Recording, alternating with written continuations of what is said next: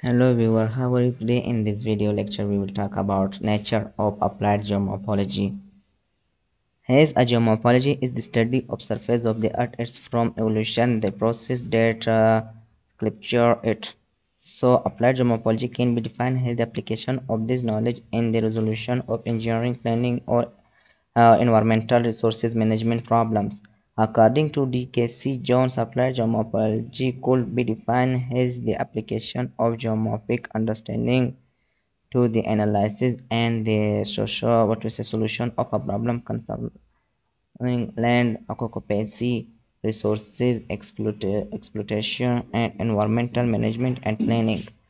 Applied geomorphology may be defined as a geomorphology in a services of man there is a long history of such services because every use made of land is influenced by, by the farm of ground, its associated material, and its processes of development. For example, the original uh, location, uh, locations of human settlements were commonly determined by geomorphological features like for ford from crossing river, coastal, and estuarine inlets providing shelter from harbors and entrances of upland passes that had military or commercial advantage.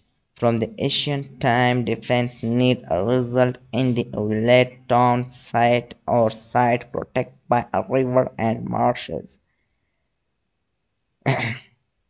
The intersection of major value have traditionally been growth point for transport network and a larger town.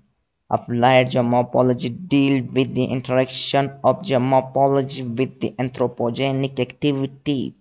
So the basic aspect of applied geomorphology are following mapping of landform with slope element which affect and modify human activity attempting to this interpret aerial photographs and images taken by remote sensing method monitoring the environmental changing especially when such changes are not sustainable in nature and endeavoring is to assess the cause of unsustainable changes uh, what we say proposing remedies for the hazard caused by unsustainable changing so viewer i hope you enjoyed this video. Here in next lecture we will talk about scope of applied geomorphology so i hope you enjoyed this video. Thanks for watching. See you next time